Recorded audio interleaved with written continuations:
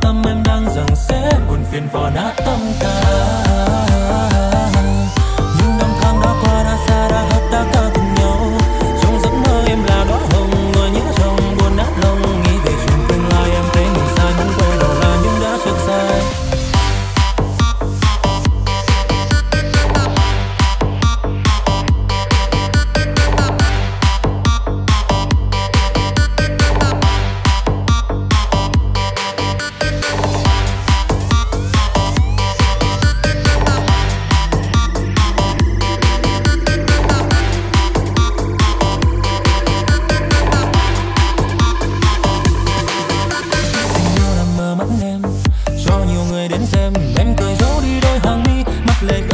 伴随